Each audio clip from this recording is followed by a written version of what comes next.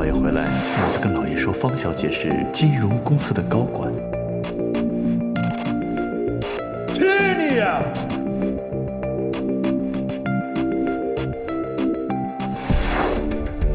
以后少爷会慢慢讲给你听。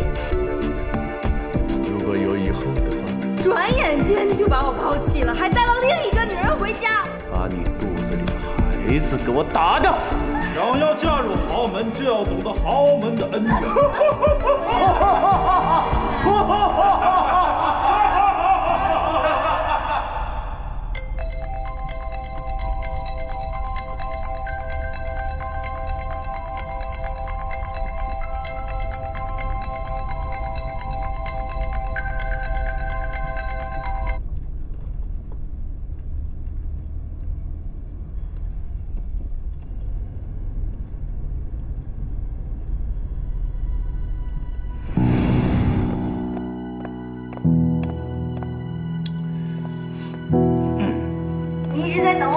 那不然呢？我可以等别人，你愿意吗？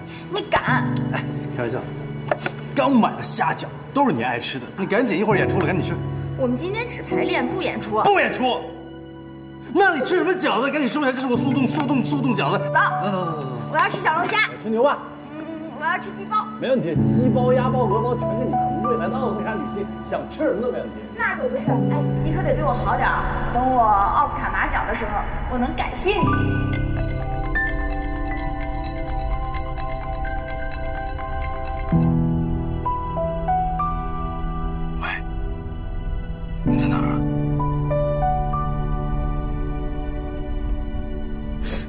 你这个笨蛋！对，我是个笨蛋，我是个笨蛋。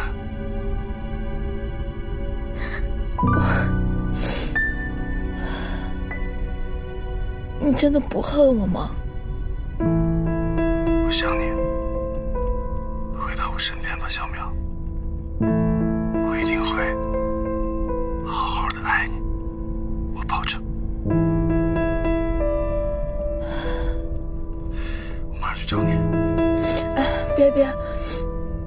我今天太累了，明天吧。明天下班之后，我直接去你工作室。好，悠扬，我也爱你，生日快乐，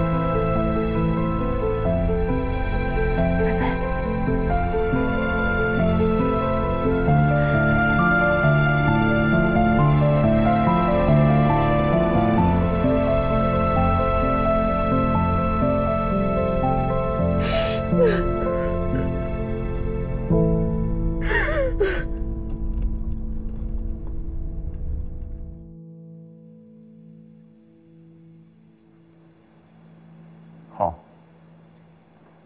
我知道了。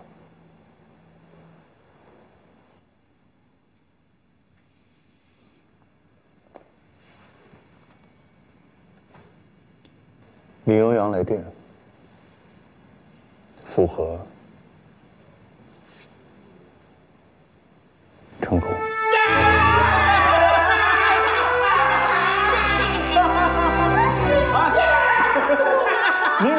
会去林悠扬的工作室，准备最重要的收官。咱们赶紧下山，准备复合仪式。嗯，好。那山上怎么办，老大？总得有人收拾残局啊。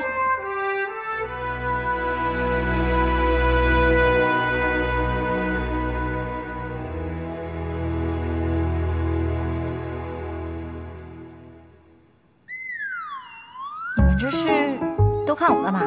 不会又是我吧？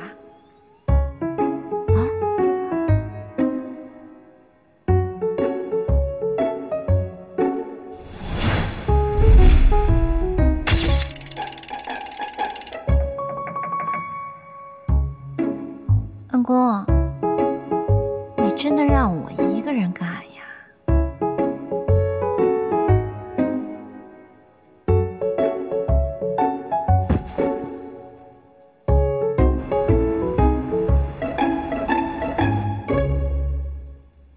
只要把文章发给你的闺蜜方淼，林欧阳一定无话可说。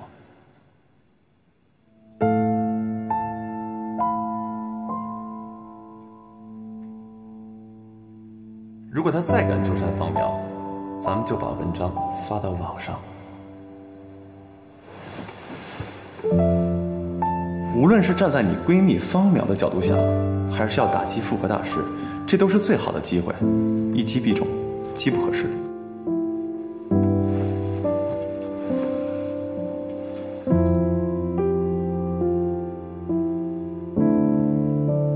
师傅，我从来没像现在这么纠结过。我信心百倍的想上一个地方出发，可是到中途我却发现，那个地方和我想象的完全不一样。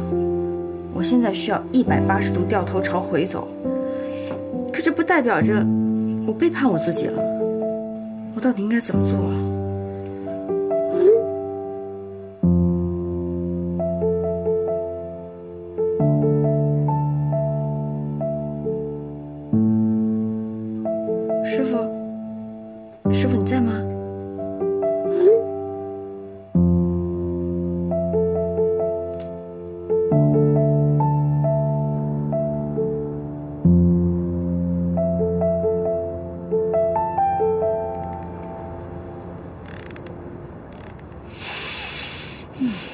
能够帮助人，是一件多么喜悦的事儿啊！真的不知道方淼他怎么想的啊？要那些奢侈品他干嘛呢？要换做是我，就算我拥有再多的钱，给我这么大的一个别墅让我住着，这大晚上的，我还真害怕呀。嗯，你呢，恩公？要是你，如果你是林悠扬，你会介绍像方淼这样为了物质而不顾一切的女孩吗？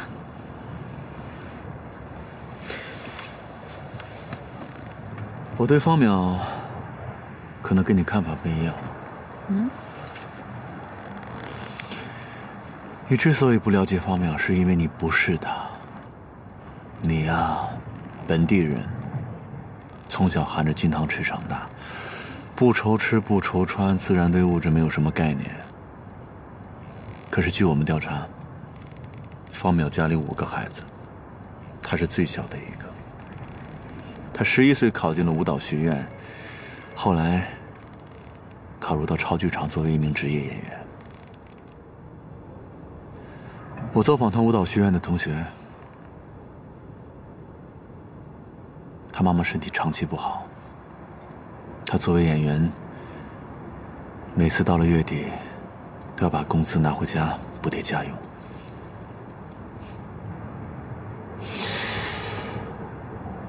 那么，对他来说，把结婚当做改变自己命运，甚至自己家族命运的唯一机会，我想，这也可以理解吧。其实我们最大的错误就是拿自己的人生尺度去衡量别人的人生。你们年龄相当，你说，如果在满月的时候，你们俩的命运交换，你觉得你们俩现在会一样吗？